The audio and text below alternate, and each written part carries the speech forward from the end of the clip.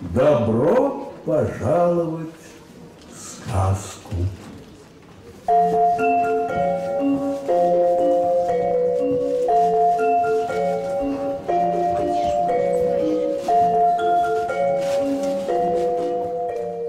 Появилась такая идея а, сделать детский спектакль. А, У нас есть конек-горбунок, у нас есть Ундина, легендарная Ундина. И появилась идея сделать еще один детский спектакль, а, постараться сделать его максимально как-то интересно. И появилась идея э, взять э, пьесу «Белоснежка». Да? А Пьеса с автором, который выступает э, худрук нашего театра Олег Павлович Табаков. Изначально я немножко был напуган, потому что пьеса ну, ей очень много лет, и что такое за что-то за пьеса, написанная. Но прочитав, я увидел, что она абсолютно современная, потому что проблемы, которые там а, рассматриваются, которые там в этом, что волнует гномов и Белоснежку 50 лет назад, то же самое, в принципе, происходит в стране и у нас сейчас. И, а темы вечные сказки там добра, любви, они всегда вечные. Кактус. Прости меня, пожалуйста. Я тебя разбудила. Я думала, если тихонечко послушаю, то... Одна тысяча раз. Что? Не что, а сколько? Одна тысяча раз. Прости, пожалуйста, я тебя не понимаю. Ты случайно не заболел? Ну, какой-то сегодня особенно зелененький. Нет, Ромашечка, я здоровенький пока. Пока. Что случилось? Что случилось? Ты слушала эту пластинку ровно тысячу раз. А это значит, что и я слушал эту пластинку ровно тысячу раз. Если я еще хоть раз ее услышу, то я... Нет. Только не это. Ёлки.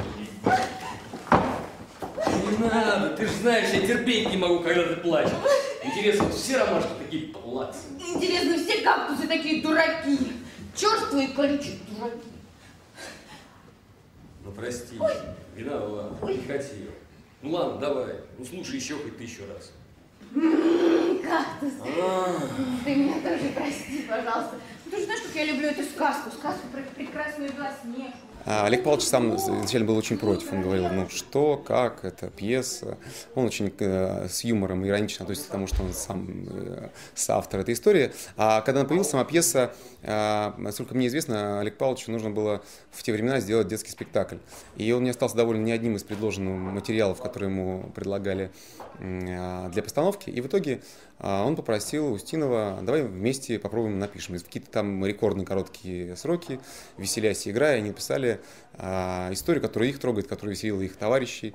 И а, 50 лет назад, даже больше, получается, в «Современнике» появился спектакль «Белоснежка и семь гномов». Он очень долго там жил, а, очень имел огромный успех. И вот сейчас мы пытаемся заново рассказать эту историю.